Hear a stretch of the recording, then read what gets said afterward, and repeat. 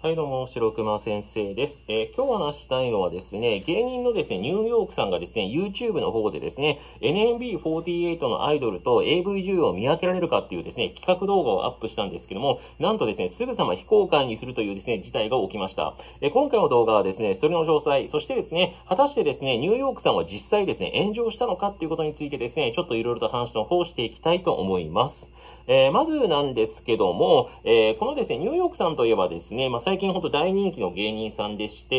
えー、チャンネル登録者数ですね、YouTube のチャンネル登録者数は20万人を超えてますし、何よりですね、えー、テレビのでですね、レギュラー番組が現在10本くらいあるのかな？うん。まあ、ものすごいですよ。レギュラー10本ってとんでもないですよ。あの、冠番組とかもですね、めちゃくちゃあったりとかしますからね。まあ、2021年はですね、えー、ニューヨークさん以外にはですね、マジカルラブリーさんだったりとか、見取り図さんだったりとか、かまいたちさんとか売れましたけども、まあ、その中のですね、本当にブレイクした芸人さんの一人っていう感じですよね。えー、でですね、そんなニューヨークさんですね、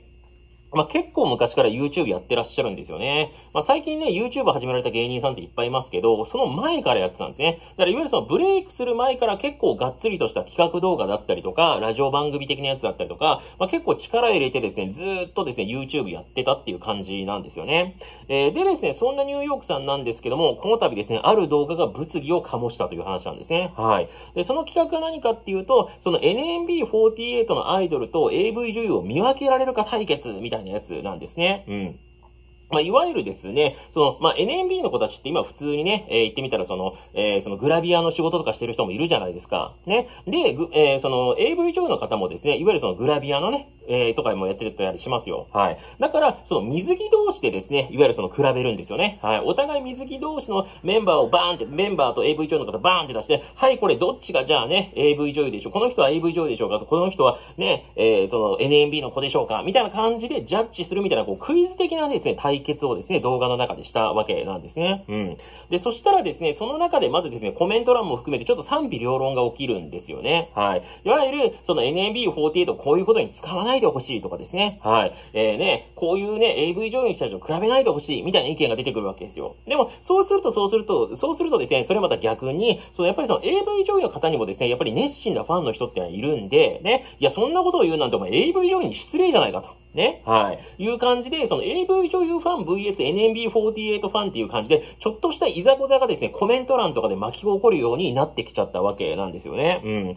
えー、でですね、えー、その動画がどんどん先に進んでいくんですけども、まあ、ニューヨークさんもですね、やっぱりちょっとね、動画の中である仕掛けをしていたんですね。まあ、具体的に言うとスタッフがしていたっていう感じなのかな。それ何かっていうとですね、あの、元 NMB48 研究生の岡田梨紗子さんという方がいらっしゃるんですね。で、この岡田さんがですね、最終問題みたいな感じでバーンって出てくるんですよ。この人は AV 上位でしょうかそれとも NMB でしょうかと。ね。で、実はなんですけども、岡田さんって元 NMB48 で、かつですね、AV 上位になった方なんですよね。うん。まあ、つまり何か言いたいかっていうと、この岡田さんは NMB48 でもあり AV 上位でもあるんで、あの、どっちを答えても正解になるっていうですね、まあ、なんていうの、引っ掛けと言いますかですね、最後にこう動画の中でこう、大落ちをつけたみたいなね。うん。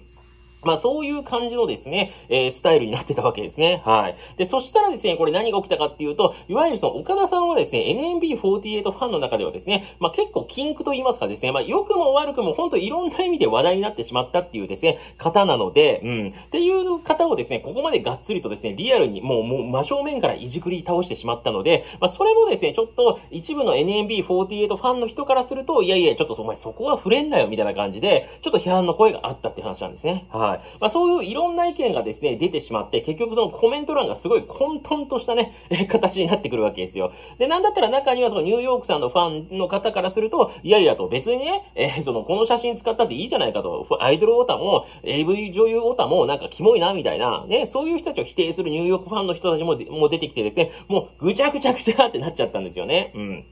で、その結果どうなってしまったかっていうと、なんとですね、動画が非公開になってしまったんですね。はい。でですね、じゃあこれ実際炎上したのかって話なんですけど、正直言ってそこまで炎上はしなかったっていう感じです。というなんでかっていうと、あのね、えすごく対応が早かった。はい。ニューヨークのね、まあ、ニューヨークさん及びそのスタッフさんの方がですね、あ、やばいぞって思ったんでしょうね。多分嗅覚鼻が効いたんでしょうね。あれこれ多分、今の段階でまだこれくらいだけど、ほっとくとめんどいことになりそうだぞってなった瞬間に、すぐさま非公開にパーンってしちゃったわけなんですね。はい。だからね、動きがすごい早かった。まあ、実際問題はこの件っていうのはですね、おそらくですけども、多分もうちょっと放置していたらですね、えー、ネットニュースくらいには絶対なったと思うんですよね。やっぱニューヨークさんって今人気っていうのもありますから、うん。まあ、ただネットニュースにもですよ、ほぼほぼなってないんですよ。はい。それはやっぱりそのね、この鼻が効いたっていうのがですね、一番の理由なんじゃないかなっていうふうに思います。はい。で、あとですね、もう一個炎上しなかった理由で言うんであれば、うん。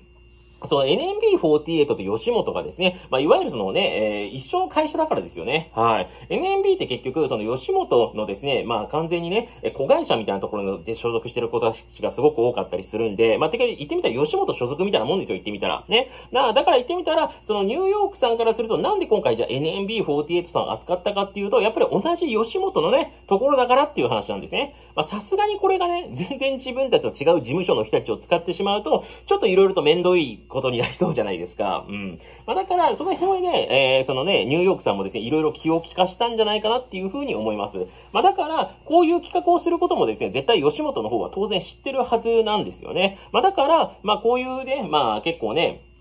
NAB48 さんをこういう風に使うのは失礼って声もありますけども、きちんと吉本の方が許可を出した上での話なんですよね。うん。はい。まあ、だから、まあまあまあ、そこまで炎上につながらなかったのかなっていうのはありますね。はい。これがね、例えばですけど、全然違う事務所、うん、の方のアイドルをやったとしたら、ちょっとやばかったんじゃないかと。はい。なんだったら、その事務所からちょっと怒られたりね、する可能性もあったりするんでね。はい。っていうのも思います。はい。で、あとですね、やっぱり思うのが、うん、今回の件を見て思ったんですけど、ニューヨークさんってね、やっぱね、すごい売れすぎちゃったんだなっていう気はしますね。はい。で、何かっていうと、さっきも言いましたけど、ニューヨークさんって今やですね、本当に冠番番組を何本もやるくらいの超人気芸人になっちゃったんですね。だからそれくらいの芸人さんになると、こういうちょっと攻めた動画っていうのは、すぐさまですね、やっぱりね、非公開にするんだなっていうことが分かりました。うん。あの、僕自身はですね、そのニューヨークさんのこと好きで、本当に売れる前からずっと YouTube とかを見てるんですけど、これね、僕断言していいんですけど、昔のニューヨークさんだったら絶対これ消さなかったですからね。絶対消さなかった。これは言えます。はい、100%言える。うん。まあもちろん、そこまで売れてないから話題にならない可能性があるっていうのもね、あるんですけども、うん。やっぱりね、ここまでですね、まあ迅速な対応をしたっていうのは、やっぱりニューヨークさんがですね、今のポジションをすごい大事にしてるし、これから先もっともっと駆け上がっていくためには、ちょっとこういう余計なことはしない方が良かったっていうふうにですね、まあすぐさま考えて、まあ対応した結果なんじゃないかなっていうふうに、うん、僕としては思いますね。はい。まあちなみにね、あの、同期の鬼越トマホークさんっていうですね、すごいコアモテなコンビの方がいらっしゃるんですけど、なんか僕としてはなんか鬼越トマホークさんがやりそうな企画だなって思いました。結構鬼越さんってこういうね、攻めた企画とかやってるんですよ。で、しかも鬼越さんって全然炎上しないんですよね。それなんでかっていうと、鬼越さんがいわゆるそのアウトローと言いますかですね、結構毒舌タイプと言いますか、そういった感じのキャラクターで売れた方なんで、まあだからやっぱり炎上しないんですよね。うん。まあだからやっぱり今の立ち位置とかイメージとかもすごいですね、まあ大事になってくるんだなっていうふうに思いました。はい。えー、まあ何にせよですね、まあニューヨークさんですね、まあすぐさま非公開にしたというのは、まあいい判断だったんじゃ、判断だったのではないかっていうふうに、えー、僕は思います。えー、というわけですね、今日はここになります。この話ですね、ちょっとも共感してくださった方、えー、よかったらですね、高評価、チャンネル登録ですね、コメントントとかありましたらぜひよろしくお願いします。どうもありがとうございました。